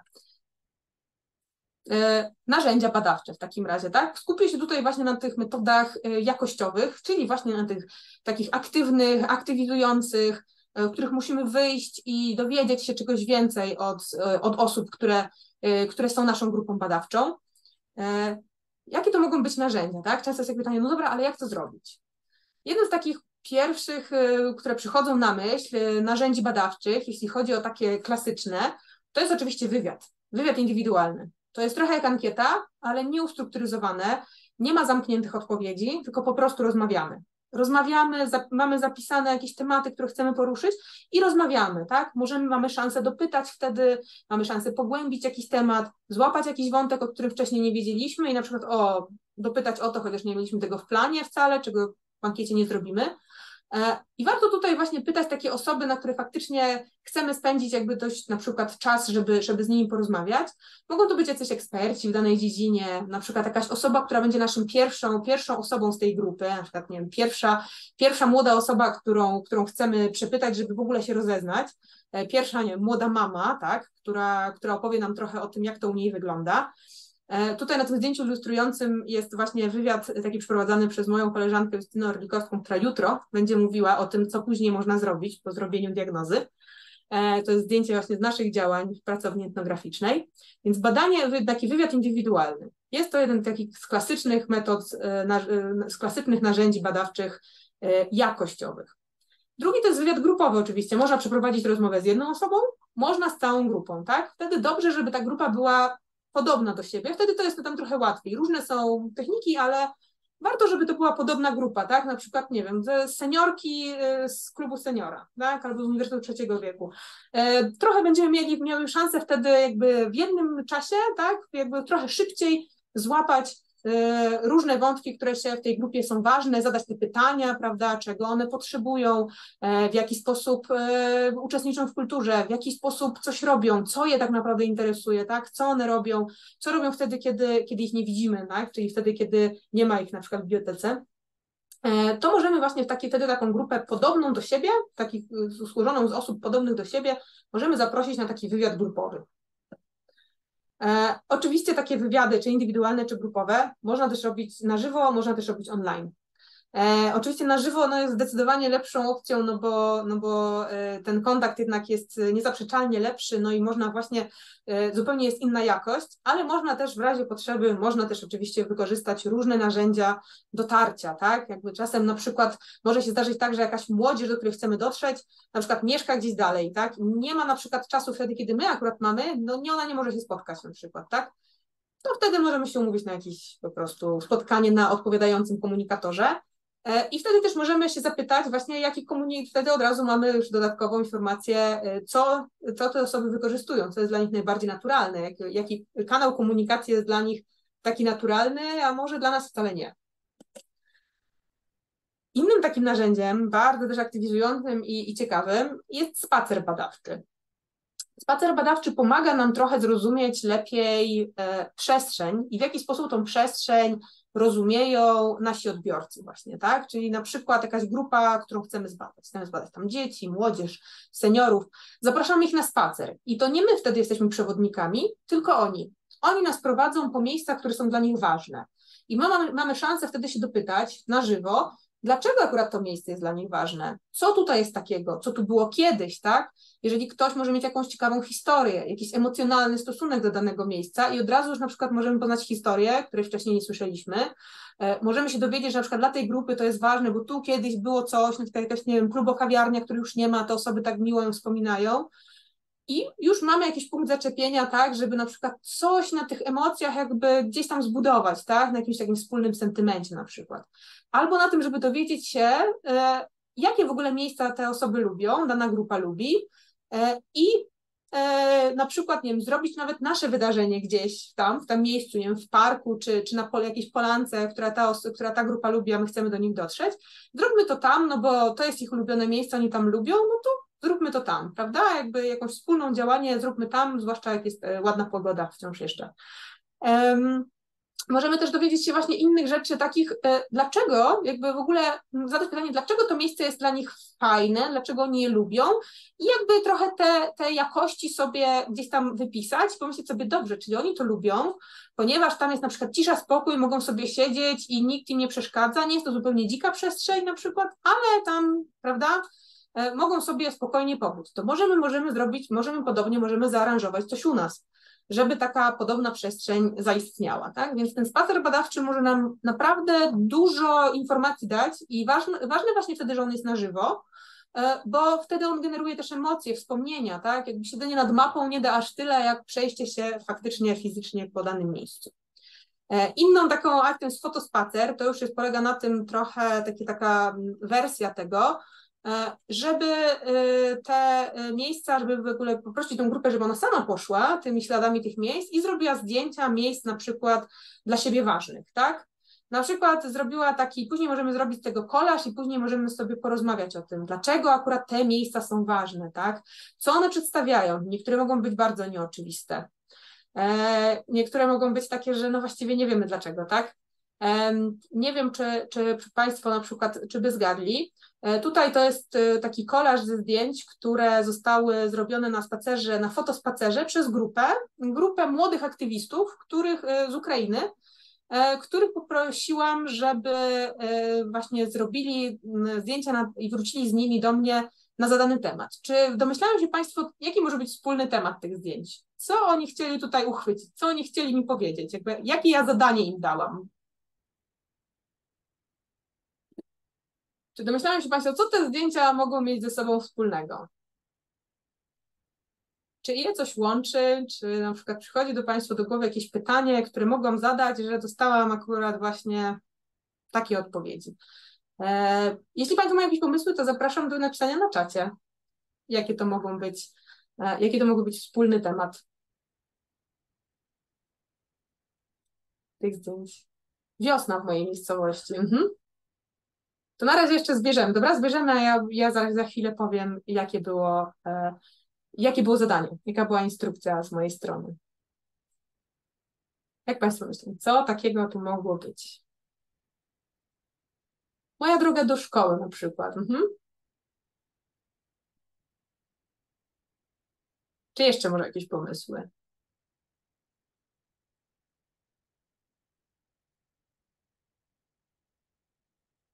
Znaczy jeszcze, czy może to jest, czy może, może to trudne, bo tak się może, może się wydawać, jak się spojrzy na to wszystko, że to może nie ma ze sobą dużo wspólnego, mm, ale jednak ma. Otóż e, pytanie, które tutaj zadałam na tym fotospacerze, było takie, e, żeby pokazali mi przejawy oddolnych inicjatyw mieszkańców. Coś, co zrobili mieszkańcy sami, sami z siebie. E, nie właśnie, albo sami to zainicjowali, zainicjowali tak? E, nie było to zrobione jakoś odgórnie, tylko właśnie przez mieszkańców. I to był zarówno taki plac zabaw, i zarówno mural, jak i taki stary samochód przerobiony na taki w ogóle sama skorupa tego samochodu na, na placu zabaw dla, dla dzieci, i kwiaty posadzone na takie klomby przy ulicy. No i ten chyba taki najbardziej mylący e, ten słup, którym jest po prostu taki wzmacniacz, tam jest taka skrzynka, która jest wzmacniaczem do internetu, tak? Która też została zupełnie zrobiona przez któregoś z mieszkańców. E, więc to są takie rzeczy, które mogą być naprawdę nieoczywiste, e, ale pokazują jakby taką różnorodność tego, co ludzie potrafią zrobić sami, tak? Tam akurat był taki, e, takie pytanie zadałam, ale to może być dowolne pytanie. To może być właśnie pytanie o, czy o moją drogę do szkoły, czy o to, gdzie są jakieś fajne miejsca, miejsca, które lubię, albo miejsca, których na przykład nie lubię, które uważam, że są na przykład z jakiegoś powodu nie są fajne, tak? I możemy znaleźć, możemy wtedy mieć takie zdjęcia od naszej grupy i popytać dalej, tak? Dlaczego akurat te? E, jeśli już mówimy o przestrzeni, no to oczywiście jeden z takich narzędzi badawczych jest mapa.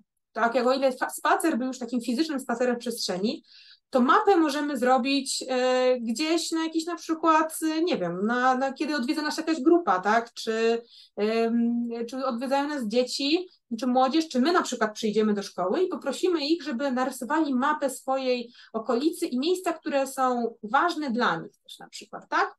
E, to może być taka miejscowość oczami mieszkańców, czyli to jakby zobaczymy, co tam się na tej mapie pojawiło, a co się nie pojawiło, tak? Na na jakiejś mapie pojawiła się, nie wiem, łąka, na której odbywały się pikniki. A no, na żadnej takiej mapie, takiej klasycznej, zwykłej mapie, no nie ma takich rzeczy zaznaczonych, tak? A tutaj na przykład się pojawiła łąka, na której się odbywały pikniki. E, pojawił się na przykład jeden konkretny sklep, e, który jest ważny, chociaż tych sklepów jest więcej, ale akurat on jest ważny. U młodzieży pojawia się piekarnia, która jest bardzo ważna, bo oni tam przed szkołą i po szkole przychodzą, bo to jest piekarnia, która jest otwarta akurat i jest jedyną po drodze do szkoły. To jest takie miejsce, które jest dla nich ważne. Więc poznamy bardziej jakby taką miejscowość oczami tej grupy. Mamy taką szansę, kiedy poprosimy ich właśnie o stworzenie mapy swojej miejscowości.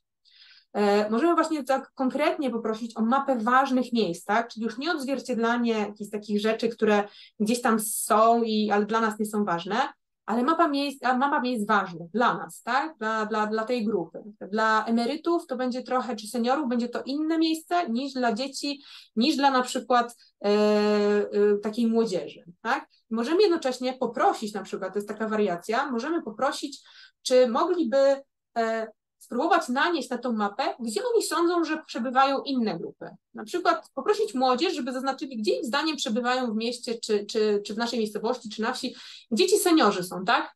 No i możemy zobaczyć, na przykład według młodych to ci seniorzy to są na rynku zawsze, tak, bo oni ich tam widzą. Ale już według seniorów, kiedy oni zrobią swoją mapę, to może się okazać, że nie, no oni to siedzą sobie tam w parku najczęściej, tak? No niektórzy może siedzą na rynku, ale oni to, ich miejsce to jest park.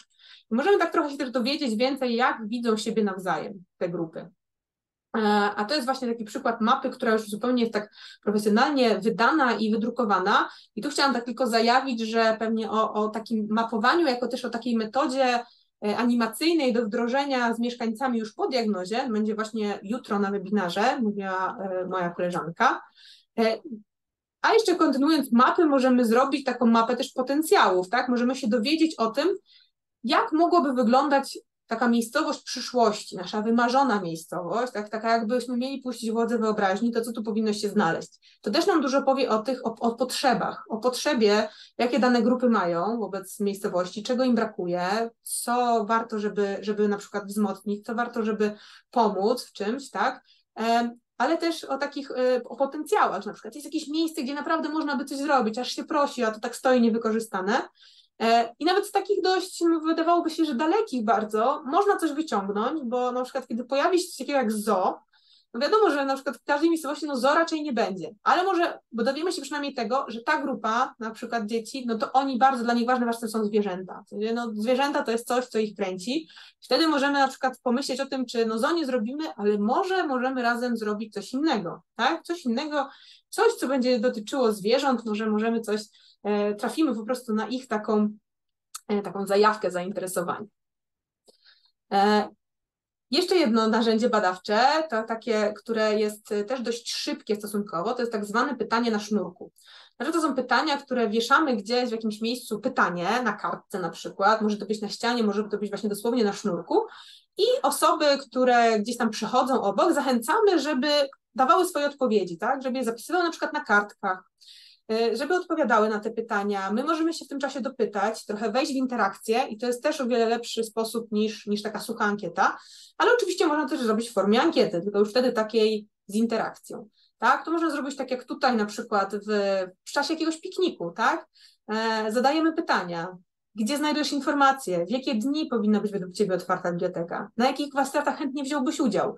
Tak? Czego, oczekuje, czego oczekujecie? Jakby co byście chcieli, e, to od razu nam trochę da taki obraz tej, tej, tej młodzieży. Tu akurat e, biblioteka w Lipnie, od której e, użyczyłam zdjęcia, taką właśnie zrobiła po prostu pytania, taka gadająca ściana tym razem, tak? Już może nie dosłownie na sznurku, tylko taka gadająca ściana, w której młodzi ludzie nie tylko odpowiadali na, na pytania, które, które, na które chcieli znaleźć odpowiedź. Właśnie tutaj, tutaj jedna uczestniczka, nie wiem, e, mówi właśnie, że rob, a, robiłam tak, pani uczestniczka mówi, że robiła gadającą ścianę. To jest bardzo fajne narzędzie, jednocześnie też pozwala właśnie na taką interakcję, tak, na takie trochę y, zaczepienie kogoś, tak, można to zrobić właśnie gdzieś plenerowo, na jakichś wydarzeniach. Można to też zrobić y, u nas w bibliotece po prostu, tak? Osoby, które, dzieci przychodzą na jakieś lekcje biblioteczne, przychodzą na jakieś zajęcia, można zostawić im taką tablicę i poprosić po prostu, słuchajcie, zostawcie, dopiszcie się, dopiszcie swoją odpowiedź, możemy ich o to dopytać, kiedy pojawi się coś, czego nie, nie, nie rozumiemy, na przykład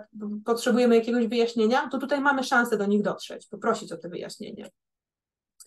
E, możemy też zrobić na przykład w jakimś wydarzeniu, które sami też robimy, niekoniecznie plenerowym. Tu jest akurat e, taki pomysł, który miała biblioteka e, na festiwal nauki. Tak? W szkole był robiony przez bibliotekarki festiwal nauki, no i przy okazji była właśnie taka gadająca ściana, gdzie, gdzie odbierały na przykład takie skojarzenie, czym jest dla, dla dzieci biblioteka. I na przykład tu się pojawiła bardzo ciekawa odpowiedź, miejsce odpoczynku. Tak? Nie tylko czytanie książek, ale też miejsce odpoczynku.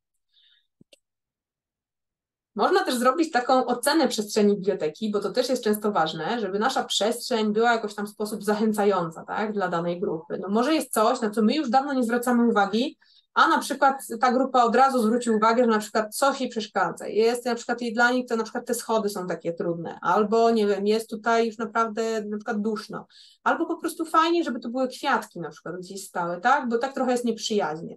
I taka na przykład tutaj na przykładzie biblioteki w Lipnie biblioteka zrobiła tak, zaprosiła, zaprosiła młodzież, taką młodszą młodzież, e, która przyklejała karteczki na różne miejsca w bibliotece i jakby opisywała takie krótkie komentarze, tak, że fotel jest super, ale na przykład w tym miejscu jest brak foteli, no bo chcieliby gdzieś usiąść, tak? Może moglibyśmy jakoś to przearanżować. E, tutaj na przykład jest brak właśnie roślin jakichś na parapecie, a fajnie by było, bo on taki jest, można sobie na nim usiąść, ale przydałaby się jakaś roślinka, od razu byłoby łatwiej, byłoby ładniej. Mm, więc też taka prosta rzecz, a jednocześnie może nam trochę dać takie wyobrażenie, jak możemy sprawić, że nasza przestrzeń będzie bardziej przyjazna dla tej grupy, tak? I to już jest duża, duża wiedza. E, takim trochę bardziej zaawansowanym narzędziem animacyjnym. Może być taki animacyjny wózek, ja go tak nazwałam, ale to może być wózek, może być jakieś stoisko, nie musi być wózek, to akurat był wózek robiony przez Bibliotekę Miejską w Legienowie, którym po prostu jeździły bibliotekarki, jeździły w różnych miejscach właśnie w Legienowie, e, jeździły i pytały ludzi, o mieszkańców o różne, e, o różne o pytania, które, które je, je nurtowały na temat społeczności, tak? E, I jednocześnie miały ze sobą książki. Można było te książki, można się od razu było zapisać, one miały taką możliwość od razu zapisania się do biblioteki takiego zdalnego i wypożyczyć jakąś książkę na przykład, tak? Bywało też na placach zabaw właśnie, czyli tam, gdzie była ta, byli ci rodzice z dziećmi. E, bo to była też grupa, do której chcieli dotrzeć, młodzi, młodzi dorośli, tacy dorośli, tam 25-40, e, czyli tak, młodzi i trochę starsi, E, no i oni często mają dzieci, tak? No więc naturalnym miejscem, które oni sobie wydedukowali w tym, w tym, e, w tym schemacie właśnie e, diagnozy, no to było, że okej, okay, no to w takim razie pójdziemy do, na placy zabaw po prostu, wyjdziemy z tym i tam znajdziemy tych młodych dorosłych, ich zapytamy bezpośrednio o to, jak wygląda ich codzienność, czego oni potrzebują, jak można ich wesprzeć, tak, jak można ich zaprosić do biblioteki, czego, czego im trzeba, jakie mają przeszkody. I jeszcze jedną taką już przedostatnią, o ile, o ile kojarzę, taką narzędziem badawczym e, są latające flipcharty. To jest taki, taki tak, e, to luźno nazwałam, czasem to się jeszcze nazywa World Cafe. E, I to jest taki, takie narzędzie, które pozwala też zebrać stosunkowo dużo odpowiedzi w krótkim czasie, bo polega na tym, że dzielimy grupę, większą grupę na mniejsze, na przykład czteroosobowe, powiedzmy takie trzy, cztero to jest takie minimum, żeby było jakoś tak w miarę, tak z mojego doświadczenia, i na tych takich dużych kartkach z flipchartu, e, o właśnie, tutaj Biblioteka w Łominie, każde lato prowadzi bibliotekę na dwóch kołach, czyli wózek do roweru, super. A jeśli wracając do tych latających flipchartów, no to właśnie, dzielimy na mniejsze grupy, każdej grupie dajemy kartkę, taką dużą, e, żeby ich nie ograniczać, z jakimś pytaniem, z pytaniem, które chcemy im zadać, tak? I dajemy im kilka minut na odpowiedzi na to pytanie, tak? Tutaj młodzież na przykład e, w czasie badań w Żerardowie odpowiada na, na różne na pytania, tak? E, na o to, co jest tak, że o, o to, co jest w Żerardowie pozytywnego, co im się podoba w Żerardowie, jakie są plusy tego miasta. E, no i oni to odpisywali, pisali to przez 3-4 minuty, po czym nastąpiła, nasta, nastąpiła zmiana. Dostawali kartkę innej grupy, która już miała inne pytanie i też mieli na to 3-4 e, minuty. Więc tyle, ile grup, tyle powinno być kartek z pytaniami i one powoli tak przechodzą, co kilka minut przechodzą, także każda grupa ma, ma okazję odpowiedzieć na każde pytanie. Wtedy dostajemy taki kolaż trochę odpowiedzi, e, których niektóre mogą się powtarzać, więc już dadzą nam wyobrażenie o jakiejś tendencji, a niektóre mogą na przykład być jakieś pojedyncze, ale już mamy rozeznanie, co w ogóle, jakie pytania w ogóle mamy zadać, tak? Nie zadajemy ich tak, później nie, może, nie robimy ankiety, w których od razu są gotowe odpowiedzi, tylko może są tutaj padną odpowiedzi, na które my byśmy nie wpadli sami, tak? E, I jeszcze taką, taką, e, takimi narzędziami skierowanymi do najmłodszych, o których jeszcze chciałam powiedzieć, bo też można, jak najbardziej może grupą naszą badawczą być, być dzieci, takie na przykład przedszkolaki, tak? No i na przykład dla nich bardzo taką wdzięczną metodą są rysunki. Dzieci lubią rysować, rysunki, możemy poprosić ich, żeby narysowali swój idealny dzień na przykład, tak? Tutaj na przykład się okazało, że oni bardzo lubią wodę, wszystko związane z wodą, basenami i tak dalej. Możemy jakieś tematyczne, te, jakieś wydarzenia, które są tematycznie z tym związane, y, zrobić, żeby na przykład właśnie tą grupę jakoś przyciągnąć, czy żeby tą grupę y, też y, poza takimi zorganizowanymi grupami przedszkolnymi jakoś zachęcić. E, różne rzeczy możemy właśnie zadać pytania, poprosić o narysowanie, ale możemy też po prostu z dziećmi zrobić różne zabawy, w czasie których one będą odpowiadały po prostu na nasze pytania, tak? Gdzie, co lubią robić z mamą i tatą, gdzie lubią spędzać czas, gdzie są ich ulubione wycieczki, e, co najbardziej, jakie jest ich największe marzenie. Tutaj na przykład często się pojawiały E, zwierzęta, piesek, kotek. E, no i na przykład można, tak jedna z bibliotek, która akurat nie ta, ale inna, która dostawała takie odpowiedzi, zrobiła na przykład zajęcia z dogoterapii u siebie w bibliotece, tak, z elementami też czytaniem, czytanie z dogoterapią. No dzieci były też zachwycone, no bo pieski oczywiście. Ale można też na przykład, kiedy wyjdzie wśród tych młodszych i trochę starszych, wyszło też taka na przykład E, wniosek, że dzieci są przemęczone, że one są bardzo zmęczone, że one już są tam już jakby dużo mają na głowie mimo wszystko, tak? Mają takie często napięte harmonogramy wbrew pozorom. No i na przykład tutaj Centrum Kultury w Żerardowie wymyśliło, że zrobi taki festiwal nudy, czyli nic na siłę. Zrobią taki w, gdzieś na skwerze, takim e, miejsce, gdzie przez cały dzień po prostu będzie można robić, co się chce. Będą różne stoiska, gdzie można coś porobić, będzie można usiąść, będzie strefa relaksu dla młodszych i starszych gdzie można sobie coś porobić albo porobić nic po prostu, tak? Po prostu sobie odpocząć. Też jest to jakaś forma odpowiedzi właśnie na, mm, na taką potrzebę.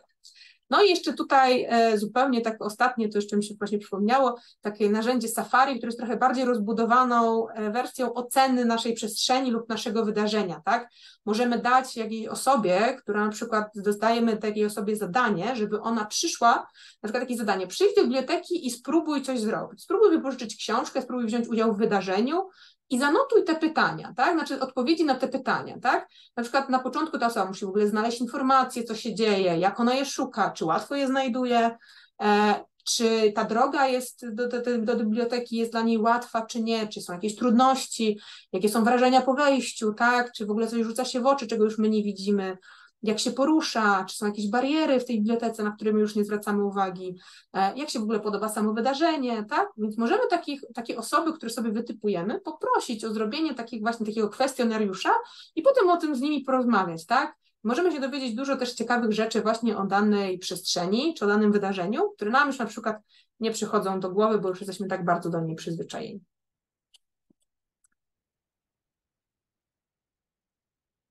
I to już jest tyle z narzędzi, z takich konkretnych narzędzi, które chciałam, o których chciałam powiedzieć. E, więcej, ale też bardziej szczegółowo, one są wpisane w e, różnych publikacjach, które, które są dostępne w internecie. Można je wygooglać, duża część z nich jest taka dostępna bardzo łatwo, na przykład przepis na diagnozę, czyli Poznaj Młodych i środowisko lokalne. E, to są takie, które, które ja polecam, bo tam są fajne, fajne pomysły i takie też rozpisane krok po kroku. E, jeżeli one nie będą jakoś łatwo do znalezienia, to ja też zawsze mogę, mogę podesłać, bo akurat je mam. One są też wolne, one są dostępne, więc y, mogę, na końcu będzie podany mój mail, mogę też, jeśli ktoś będzie miał problemy ze znalezieniem, to mogę, mogę je przesłać.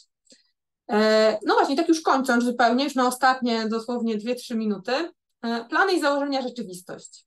Jako badacze bądźmy otwarci na zmiany, jakie nas czekają, tak? Jak pracujemy z ludźmi, diagnoza robiona to proces, więc ona jest obarczona też błędem na rzeczy, które nie mamy wpływu. Ale zawsze z każdej sytuacji możemy się czegoś nauczyć. Warto zawsze, nawet jeśli coś nam się nie uda, zaplanujemy, ale nie wyjdzie tak, jak chcemy, nie patrzmy na to w kategoriach porażki, tylko w kategoriach takiej mhm, nauki na przyszłość. Założyliśmy sobie coś i okazało to się, że na przykład to nie jest takie proste dotrzeć do tej grupy, tak? Albo na przykład to nie do końca im zadziałało, ale o czymś nam już to mówi, daje to już nam jakąś wiedzę. I o to chodzi w diagnozie, żeby właśnie być elastycznym, żeby dostosowywać te narzędzia do grupy, a nie się ich sztywno trzymać. Żeby być też otwartym na to, że to jest faktycznie proces i naprawdę dużo się może w jego czasie wydarzyć, ale i tak skończymy z dużo większą wiedzą niż kiedy zaczynaliśmy. E, jeśli chodzi o wnioski i rekomendacje, to warto na bieżąco je spisywać. To już powtórzyłam parę razy, ale zawsze warto jeszcze powtórzyć. Naprawdę warto je spisywać, bo one uciekają, więc warto gdzieś sobie zapisać albo nagrywać nawet spotykajmy się w naszym zespole, który udało nam się zrekrutować, rozmawiajmy o tym, róbmy jakieś burzy mózgów raz na jakiś czas, tak? Wtedy, kiedy możemy, kiedy, wtedy, kiedy mamy wspólnie jakąś chwilę, warto to sobie zaplanować, bo w takiej bieżączce, takiej codzienności często może nie być na to tak czasu po prostu, ale warto to sobie zaplanować. Wtedy jakieś nowe idee, nowe pomysły mogą nam wchodzić do głowy i właśnie jakieś wspólne wnioski, wypracowane wspólnie wnioski są najlepsze wtedy tak? I zaprośmy jeszcze tych ludzi, z którymi rozmawialiśmy, tych mieszkańców, bo nawet jeszcze przed stworzeniem takiego końcowego wyniku, bo możemy się na przykład jeszcze czegoś dodatkowo dowiedzieć, tak? Czasem tak jest e, bardzo często, że o czymś mówimy i nam się nagle coś przypomina, coś jeszcze do nas wraca, możemy jeszcze się czegoś dowiedzieć, więc pamiętajmy, że to jest proces i właśnie rozmawiajmy, mówmy, spotykajmy się, no i zapisujmy sobie to, czego się dowiedzieliśmy tak? I przede wszystkim bądźmy ciekawi. To też to jest, powtarzam to trochę, co było już na początku, bądźmy ciekawi, zwracajmy uwagę na to, co nas zaciekawiło i zaskoczyło, co braliśmy za pewnik, a okazuje się, że takim wcale pewnikiem nie jest. Nie, nie poprzestawajmy na powierzchni, tylko zastanówmy się nad pozornie oczywistymi stwierdzeniami, czy może jakieś rzeczy się, na przykład jedna mówi osoba to, druga tamto, co oni mogą mieć na myśli, tak? Szukajmy głębiej, szukajmy głębiej, tak żeby nasze wnioski były faktycznie takie, mm, które mogą nam naprawdę coś nowego powiedzieć, tak? Mm, a jeśli chodzi o rekomendacje, bo warto na te wnioski, już sobie jak zapiszemy sobie te wnioski, to dobrze sobie zrobić takie rekomendacje nawet dla siebie samych, tak? Co dalej możemy z tym zrobić? W takim razie one warto, żeby te rekomendacje były tworzone z udziałem osób, których to dotyczy, żeby były konkretne, realistyczne, rozwojowe, czyli mające jakieś tam perspektywy na przyszłość, no i użyteczne, tak? To są takie kwestie, które warto, żeby te rekomendacje już nie były takie mm, jakieś bardzo ogólne, że należy jakoś tak ogólnie być bardziej otwartym, tylko takie już bardziej właśnie konkretne. E, I tutaj chciałam tylko taką jeszcze przykład, tak? Jak to może wyglądać, bo to czasem jest takie abstrakcyjne, jak się o tym mówi, kiedy na przykład mamy takie wnioski, że mamy bardzo różnorodnych liderów, działaczy, twórców, artystów lokalnych, no mamy naprawdę bardzo szerokie spektrum, jak możemy to wykorzystać? Jeżeli mamy, jest jakieś miejsce, z którym są związane bardzo silne emocje z konkretnym miejscem, jakieś wspomnienia, jakaś nostalgia, to jak możemy to wykorzystać? Wiemy, że tak jest, taki jest wniosek. Jak, co możemy z tym dalej zrobić, tak? W naszej miejscowości jest grupa osób zainteresowanych danym tematem. Jak to wykorzystać? Nasza grupa docelowa ma typowe dla siebie sposoby komunikacji, korzystania z zasobów albo na przykład z mediów społecznościowych. Jak to wykorzystać? No i te rekomendacje na końcu mogą wyglądać na przykład tak. E, to są tylko przykłady oczywiście, tak? Możemy na przykład biblioteka jako miejsce łączące potencjały, jeśli chodzi o tych liderów różnorodnych i różnorodnych działaczy i twórców. Na przykład cykliczne spotkania, żeby oni się poznali, żeby każdy miał okazję coś się zobaczyć, może wydać jakąś, jakiś album, jakąś księgę, tak? Zrobić jakieś coś, coś wspólnie. Jeśli chodzi o miejsce, to może jakąś, jakąś ciekawą aktywność wokół tego, tak? Możemy czy, jakieś czytanie performatywne na tym zrobić, jakiś tematyczny konkurs literacki, możemy y, konkurs na wspomnienia, tak? Wystawy starych zdjęć, bardzo różne rzeczy możemy zrobić. E, tak samo z, z następnymi, tak? Jakby konkretne tematy mogą mieć konkretne rekomendacje konkretnych, konkretnych działań.